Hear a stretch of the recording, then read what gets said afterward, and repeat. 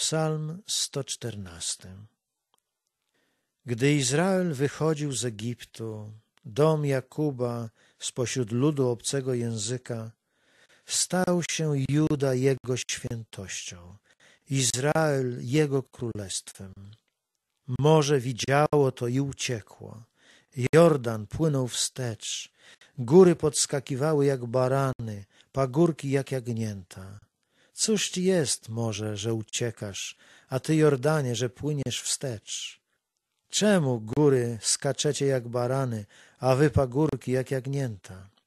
Zadrżyj ziemio przed obliczem Pana, przed obliczem Boga Jakuba. On zmienia skałę w jezioro, krzemień